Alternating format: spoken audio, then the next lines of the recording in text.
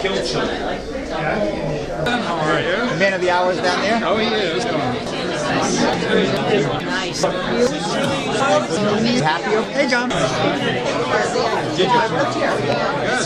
Put it up. Your appetite, you've got super secrets in the morning.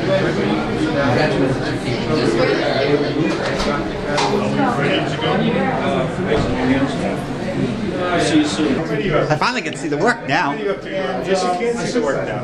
Look, yeah, the problem is, look, but, you know, it leads him to, um, to have too much respect for his own uh, judgment. He thought I was